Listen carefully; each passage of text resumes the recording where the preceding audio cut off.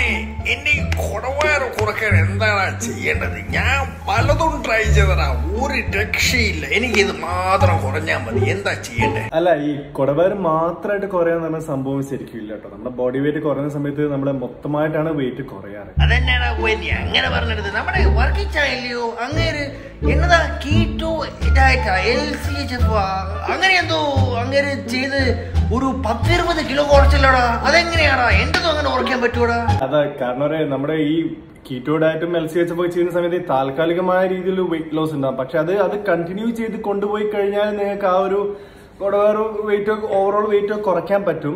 പക്ഷെ അത് ഒരു ചെറിയ കാലത്തേക്ക് മാത്രമേ മാത്രമല്ല. പക്ഷെ ലോങ് ടേം ആയിട്ട് പോകണമെങ്കിൽ നമ്മൾ എക്സസൈസും അതുപോലെ തന്നെ നല്ല രീതിയിലുള്ള സാധാരണ ഭക്ഷണ രീതികളൊക്കെ കുറച്ചൊരു മിതത്വത്തിൽ കഴിച്ച് തന്നെ പഠിക്കണം. അത് ഒരു പ്രോസസ് ആണ്. അങ്ങനെ തന്നെയാണ് നമുക്ക് ലോങ് ടേം ആയിട്ട് റിസൾട്ട്സ് കിട്ടുക. അപ്പൊ നമ്മുടെ ഈ വർക്കിച്ചാന്റെ കുറഞ്ഞ വെയിറ്റ് ഒക്കെ നീ തിരിച്ചു വരുന്നതാണോ? നീ പറഞ്ഞു വരുന്നത്?